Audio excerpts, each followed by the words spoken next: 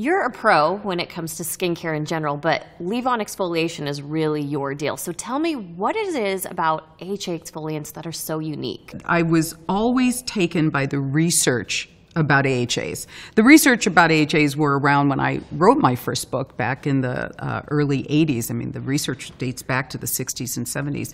And AHAs were just fascinating for skin. And the first research was really all about hydration uh, that glycolic acid and also lactic acid, uh, that's another AHA, just how it improved hydration. And, you know, we think of, you know, acid, that's such a scary word, acid, but it actually turns out that these ingredients uh, really help make a difference for the hydration levels in skin.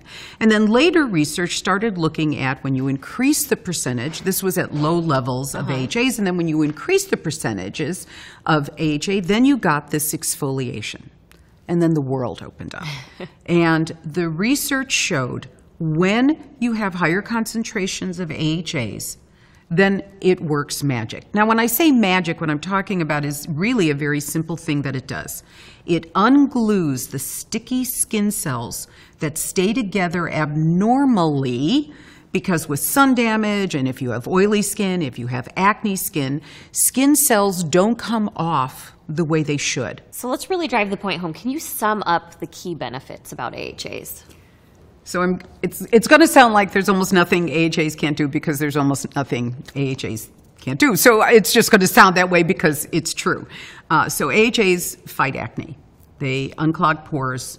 They smooth the surface of skin. They increase hydration. They smooth wrinkles. They make mm, wrinkles look like they're going away. They actually firm skin because you get that heavy built up layers of skin, so you actually get some firming. Uh, the, that smoother appearance is probably the thing, and, and less clogged pores is probably the thing you will see most immediately, but with time, all of the other benefits will come along too.